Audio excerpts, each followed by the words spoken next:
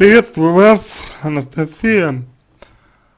А, есть два момента, которые я хотел вам указать.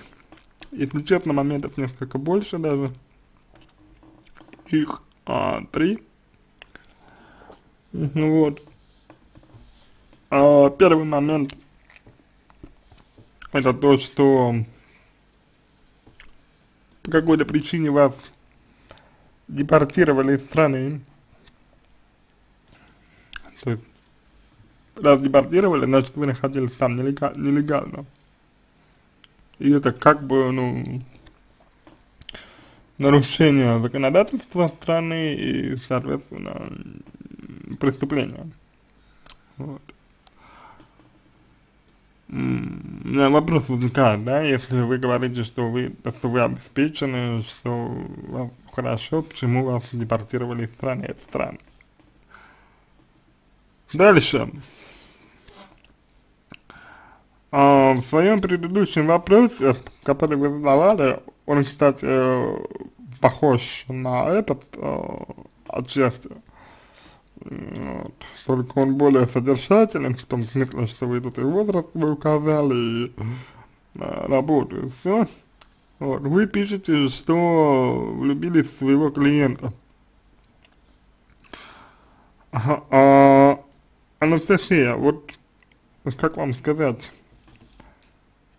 а, судя по тому, что вы пишете, что вы любили больше, больше жизни, судя по тому, что вы пишете, что любили больше жизни, а я так подозреваю, что на клиентов вы, проецировали те качества, которые вам были нужны.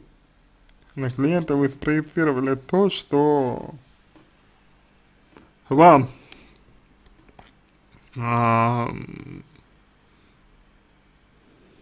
хотелось. Вот так это мне видится, потому что, судя по вашей реакции, судя по тому, как вы восприняли данную историю, а, ну, можно сказать, что вы а, в большей степени нуждаетесь в этом мужчине, чем он вас.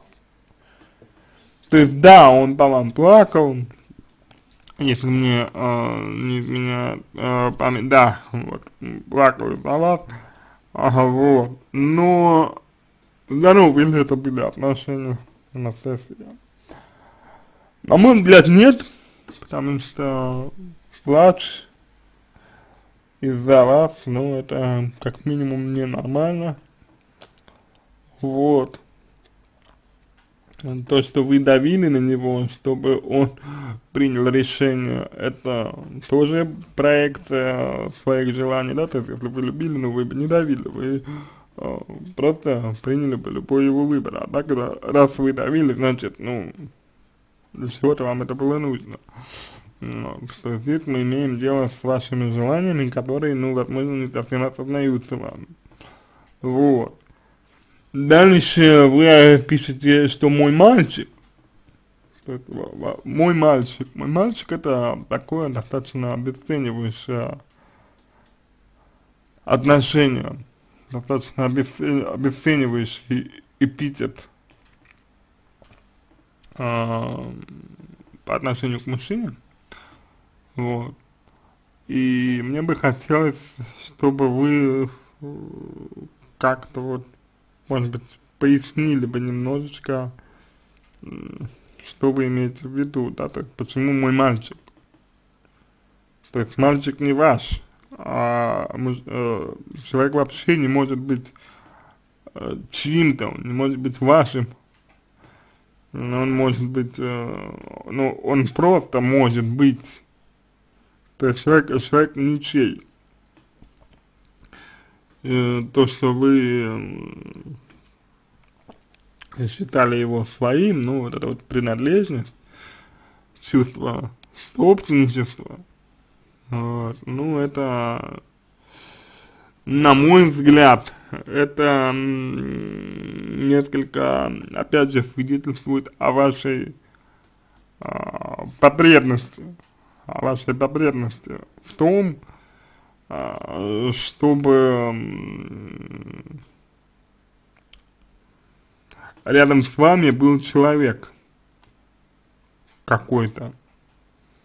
То есть вот вы э, говорите о кумире, да, вы говорите о кумире, своем кумире. Но ведь кумир это что? Кумир это идеализация. По сути дела, да, мы имеем, э, мы имеем дело с э, идеализацией. По факту. Вот. И если мы имеем дело с идеализацией, то идеализация всегда имеет, во-первых, в своем, а, ну, в своем а, основании, в своем основании а, имеет а, определенные желания, вот, это первый аспект. И второй аспект это то, что за идеализацией всегда э, после, э, всегда следует э, обесценивание. По, су по сути дела. По сути дела. За идеализацией всегда следует обесценивание. То есть иде идеализация и обесценивание это детская позиция. Соответственно, вы воспринимаете своего мужчину в некоторой степени по-детски. Что не может не сказываться негативно на ваших с ним отношениях. Вот это вот мой мальчик, да, такая, такое вот чувство собственничества, возможно, а, как бы использование его для э, того, чтобы чувствовать себя в безопасности и так далее. далее. А, я ничего не имею против а, того, как бы, кем вы работали, да? Вот, я считаю, что, ну, как бы, выбор человека, кем ему работать и что ему делать, это исключительно ваше право. Но, но, знаете, вот то, что вам для себя ничего не нужно, да, то вам для себя ничего не нужно, говорит о том, к сожалению, что сами вы никак не развивались, сами вы и, и не развиваете, сами вы никак не прогрессируете.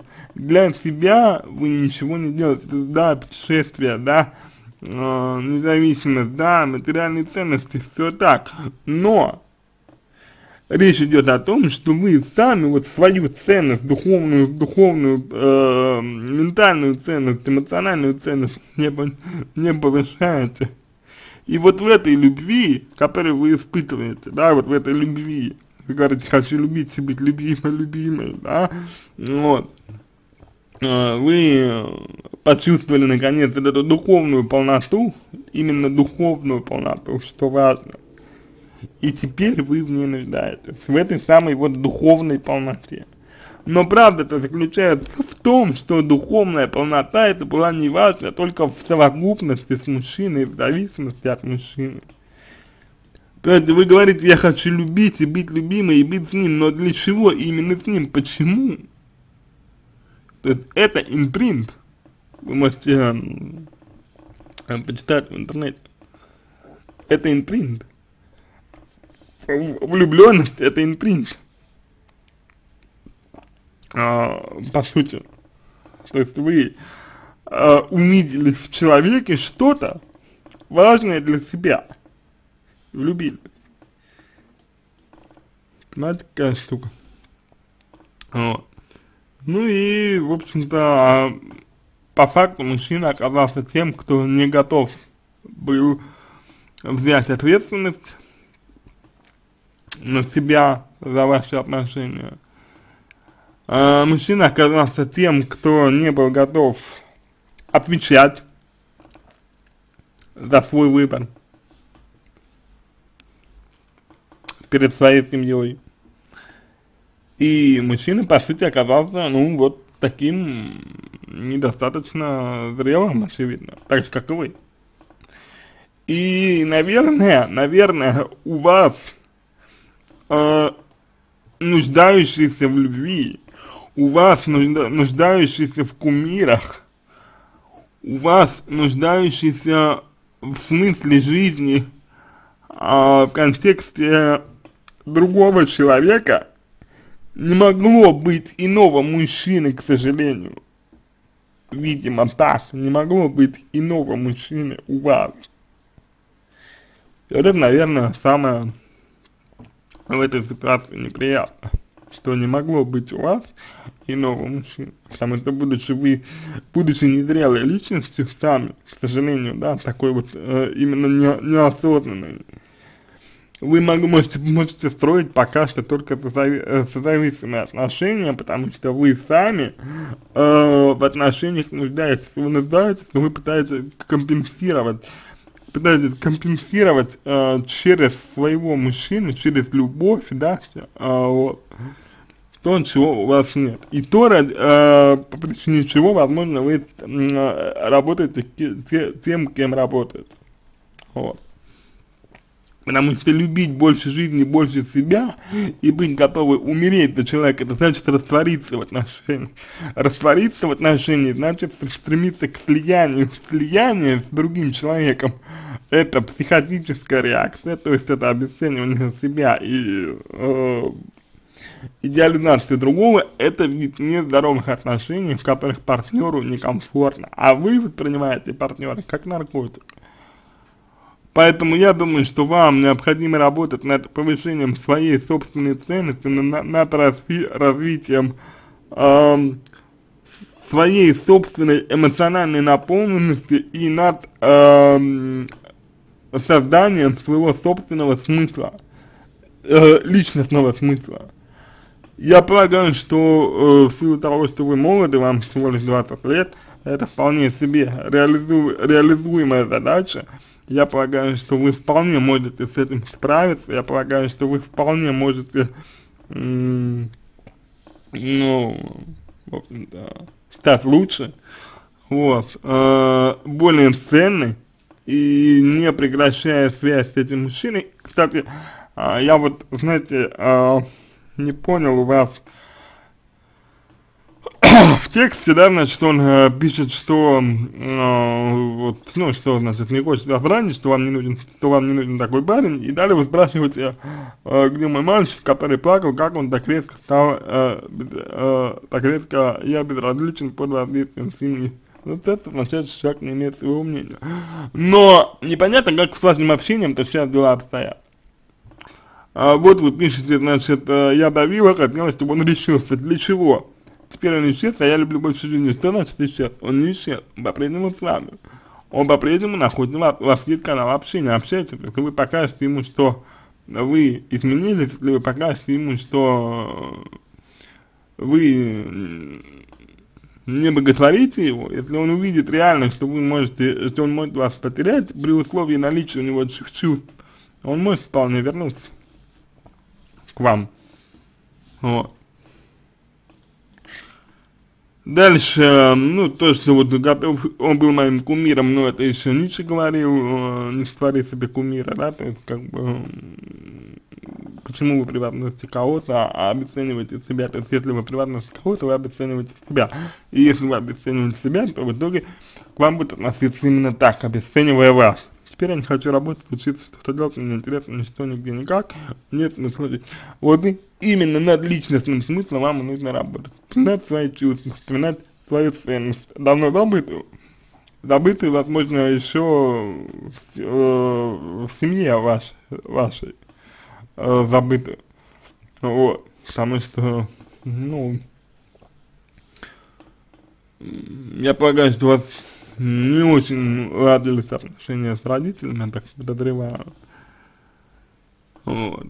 Так что неудивительно, что вы забыли э, о себе, забыли свои чувства, вот, привыкли к ним, к ним э, не прислушиваться, вот, к своим чувствам, привыкли не прислушиваться. Это в данном случае это нормально, это естественно. Вот, очень здорово, что вы обращаетесь за помощью.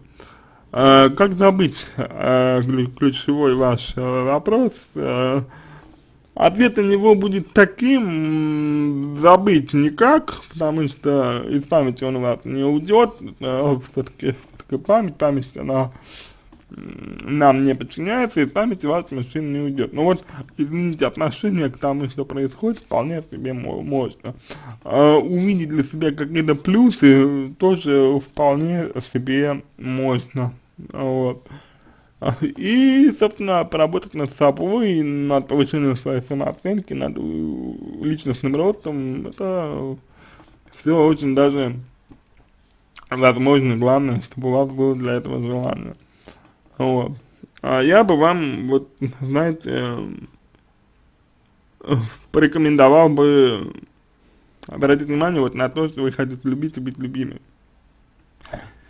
И, как это ни странно, да, э, э, связать, связать то, что вы хотите любить и быть любимой, да,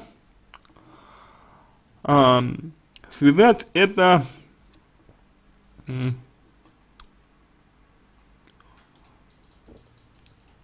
тем, что вы вот какой, какую ну, ну, профессию выбрали для работы. Вот. То есть вот, вот э, мне кажется, что такая вот история, то есть вам нужно вот это вот главное противоречие, наверное, для себя разреш, разрешить. Вот главное, это, вот это вот противоречие, его нужно разрешить вам. Вот. А, ну, мне видится, по крайней мере, так. Вот, у вас, к сожалению, даже э, запрос, вот в первом, в первом вопросе, вопросе у вас вообще воп э, не было, в первом тексте у вас, вообще, вообще не было вопроса. А во втором тексте у вас есть вопрос, как, как забыть. А, есть хороший а, встречный вопрос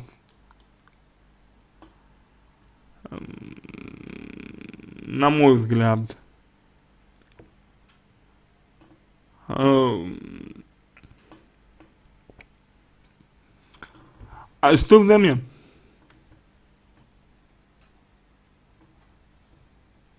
Ну вот, э, что взамен? Что вот вы забудете, а что взамен? Понимаете? То есть вот э, непонятно. Здесь, что взамен будет.